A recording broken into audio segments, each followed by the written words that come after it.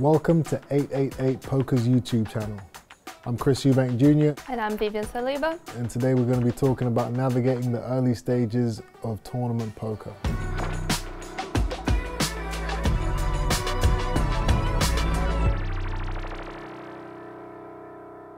So hello Chris. How are you doing today? Very well. Good. So let's get into it. Early stages. That's a fun time to play poker, especially if you know what you're doing. I would say when you're playing very deep, you have over 100 big blinds, probably this is the toughest time to play poker. Toughest.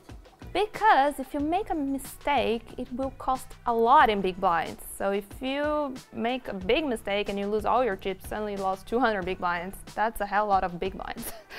when you're shorter and you make a mistake and you have 15 big blinds, you know, normally also equities are closer because you have a better return to them, that money that is involved and a lot of things to consider.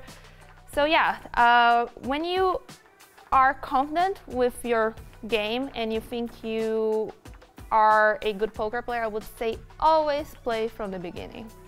You can take a lot of advantage, you can capitalize a lot in big blinds, you can profile your opponents without having to play big pots or spend a lot of money. You can really pay attention, hey, say, hey, I'm gonna sit here, uh, observe everything that is going on, uh, what are each of my opponent's tendencies, how they play, and when the blinds are higher, you can start taking the money in. So you would say that starting from the beginning is better than buying in last minute? Because I know a lot of players usually do that, try and get in, you know, to so they don't risk getting stacked early, you know? There are arguments for both. I personally prefer to play from the beginning. Uh, like I mentioned, you can pay attention to how your opponents play. You can capitalize because a lot of players will play way too many hands. They will overplay their hands. And if you have a little bit more experience, can be a very profitable stage. When you're playing very deep, um, a lot of hands like suited connectors, small pairs, they have a lot of value because if you hit the board, you can win huge pots. Uh, when you are playing shorter stacks, this type of hands, they don't have so much value anymore.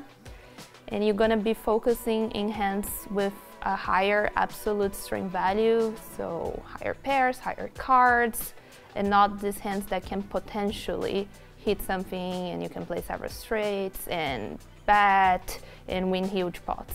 I was playing an online tournament recently and I was about to get blinded out and um, I was just getting terrible cards over and over again and then I, you know, I was close to getting blinded out and then I got four or five of hearts and I thought, oh, that's a good looking hand. You know, maybe I should just shove with this hand. And I was about to do it and then it, it, it timed me out. Um, which is actually lucky because I watched the board come out and I didn't hit anything. Um, and then I ended up just going all in with uh, I think it was like King Seven, but I'm guessing that, like you said, you know those suited connectors and you know car, you know those those types of hands that can make you a lot of money when you're deep are not the type of hands you want to play when you're short. Absolutely, that's right. You just want high cards, right? Yes, because the chances of someone calling you are higher, and you want to have this high card advantage. Okay. So the 5-4 is not performing in general very well in this type of situation. And I would say another thing to have in mind is that let's say you have ace queen, which is a very, very strong hand. And normally if you have 30, 40 big blinds, you would get involved and go all in pre-flop. If you're playing 300 big blinds deep, for an example, you don't want to get all in pre-flop with this type of hands. Mm. Um, you need to be careful when you're very, very deep. Yes, aces, you would love to go all in, kings most of times, but um, you need to be careful when you're too deep about compromising huge chunks of your stack or all your chips. Unless you have aces. Yeah, always go with aces.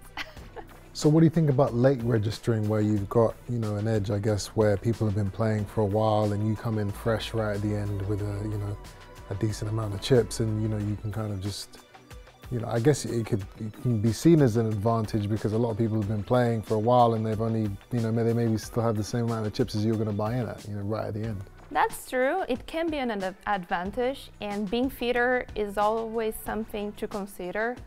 Um, if the tournament has a good structure, I would say, yeah, you can late register. If you still have over 30 big blinds or so, uh, it's very playable. But sometimes you will late register, your opponent's gonna have 56 big blinds and you're gonna have 15, and then you're gonna have to get involved soon in an all-in and you're just gonna be pushing variance.